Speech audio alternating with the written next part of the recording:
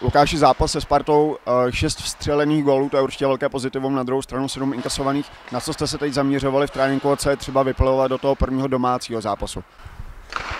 Tak uh, asi určitě v té obraně tam jsme udělali zbytečné chyby, co jsme, co jsme v přípravných utkáních nedělali a, a možná to bylo, že to byl první zápas, že to bylo takový přemotivovaný a, a, a napadlo to tam na obou stranách, takže samozřejmě, určitě na tu obranu jsme měli a kromě toho se také stalo, že vám úplně nevyšly začátky třetiny, hlavně druhá, třetí.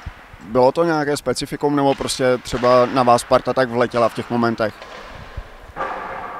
Ne, to my jsme to věděli a bohužel jednou já jsem ho tady nechal zbytečně úplně ho tam natlačit před bránu a, a po druhý to nějak vyplynulo ze situace, takže samozřejmě tady to se jak nesmí stávat.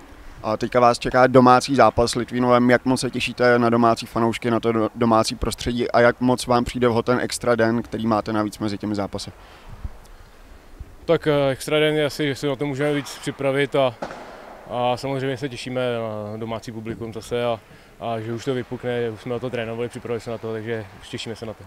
A co očekávat od Litvínova? Asi to bude trošku jiný zápas než se Spartou. Asi jo, já bych řekl pravdu, tak nevím ani Litvínov se ne, nesledoval jako v přípravných utkáních a, a my si určitě uděláme nějaký rozbor toho a, a připravíme se na ně.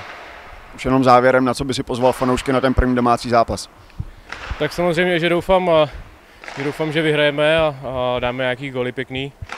A ještě samozřejmě přijde Ondra Kratěna se bude loučit, takže na to bych je pozval, aby se přišli podívat a, a rozloučit se s Ondrou.